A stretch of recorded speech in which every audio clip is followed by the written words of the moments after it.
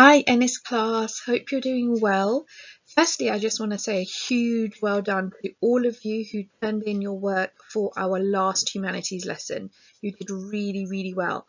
So today we are looking at our last lesson for this unit and we're going to be moving on to the Iron Age. So make sure you have a piece of paper and a pencil ready to take notes just like last time. So our learning intention for today is I know why the Iron Age was important. So we're going to be looking through lots of information about the Iron Age and you're going to be making notes about what were the key points or the key areas of the Iron Age that we really need to learn about. And our success criteria for today is to understand what iron is, know that the Iron Age came after the Bronze Age, and know what hill forts and houses were like during the Iron Age.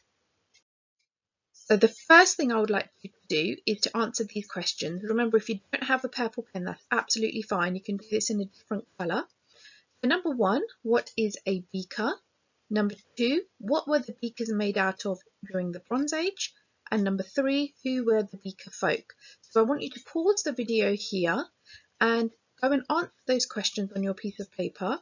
And then I'm going to go through the answers. Okay, so hopefully you found those pretty straightforward and you used your notes from last lesson. So number one, what is a beaker? So we know that a beaker in modern times is used purely for drinking from, but during Bronze Age times, the beaker was often used for storage as well. What were the beakers made out of? So they were made out of bronze, which we know is a combination between um, a combination of tin and copper. And who were the Beaker folks? Remember, they were the people that arrived in um, England and they settled very quickly and they actually introduced the Beaker to the English people. So give yourself a tick for those answers and if you need to correct, you can do so now.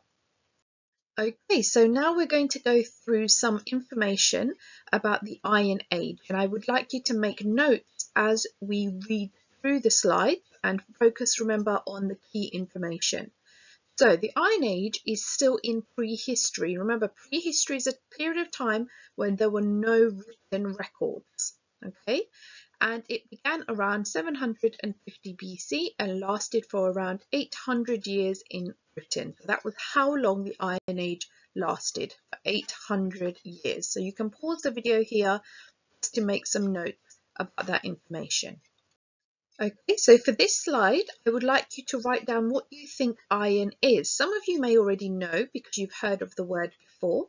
So have a think about what you think iron is and we will go through the answers in a second. So just pause the video here and have a think. So iron ores are minerals and rocks from which iron can be extracted and iron was extracted by a process known as smelting, which used a charcoal fired furnace. So the iron would be taken from the rocks and by heating it up really and then the iron could be heated and hammered into shape. So remember iron is a type of metal and it is very strong and that was why it was used so widely during the Iron Age because this creation or finding of iron really changed the culture of the time. So pause the video here to make some more notes. So why do you think people used iron so widely after they had discovered bronze, which they actually thought was pretty strong? They realised that iron is tougher than bronze. It is shaped by being heated to a high temperature and then it's hammered against an anvil. So it's quite good material to shape in different ways. And the process of this heating and hammering is called smithing. Compared to bronze, iron was considered easier to work with because remember, with the bronze, you had to combine two other metals, tin and copper, together. Whereas with iron, it was naturally extracted from rock and you didn't have to really combine it with anything else. And it can be shaped into finer and sharper objects like spearheads and swords. And obviously we still use iron today to make tools.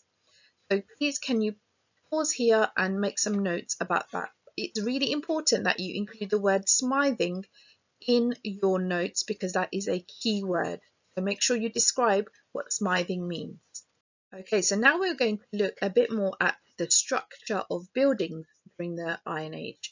So hill forts were first built from around 800 BC and they were defended settlements that made use of natural rises in the landscape for defensive advantage. So basically this means that the settlements or the buildings or the houses were built on hills that were high up so that if any armies were coming into attack, you could be able to see, or the people in, during the Iron Age would be able to see the enemies that were coming. Okay, between 500 and 100 BC, many parts of Britain were dominated by hill forts, with settlements providing homes to hundreds of people. So people were definitely feeling safer living on top of these hills, so they could see if there were any people, any armies, or any enemies coming to attack. One of the biggest hill forts in Europe was discovered in Maiden Castle, which is a place in Dorset. So a lot of the castles were built on hills because they could be, again, um, can look out for enemies and can look out for any armies who are coming to attack. So pause the video here to make some more notes. Okay, I want you to have a look at these houses and think about what do you notice about these houses. Look at the shape, look at the materials. Are they similar or different to the houses we have today? Have a think about that. You don't need to write any notes, but just have a think about how they are different to the houses we have today. So we've just got some fun facts for you. You can make some notes on this as you're listening. So these houses are actually called round houses because they are circular in shape. They did not have chimneys, so the smoke from any fires would go through the thatched roof or the hay roof that these circular houses had. Now in the centre of the house there would have been a fire which was used for and if you noticed in the picture there's only really one room that the whole family would be cooking in and sleeping in.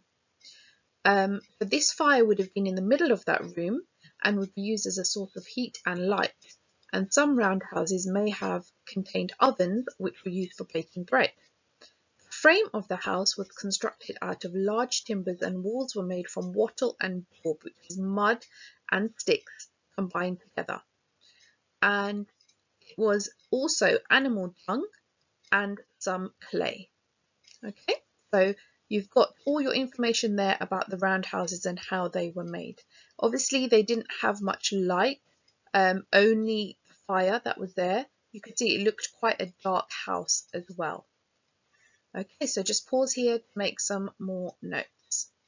Okay, so we've got quite a fun task for you today.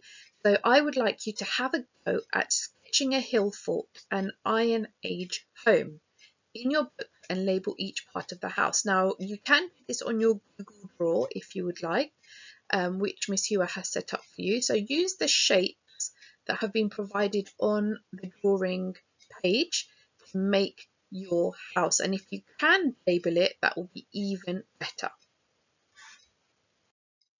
Okay, so for this last task, I would like you to um, write this down on the Google document that Miss Hewer has put. So I would like you to answer these questions on that document so we can have a read through of your answers.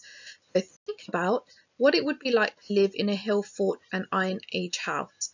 Why do you think people in the Iron Age lived on those hill forts? Think about what we talked about and have a think about whether you would like to live in those kind of houses.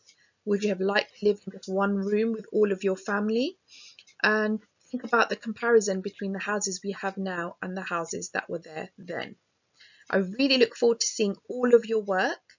Try your best, and if you have any questions, you can just type them into our live stream on Google Classroom and I will be able to answer your questions along with Miss. Okay, thank you very much. See you later.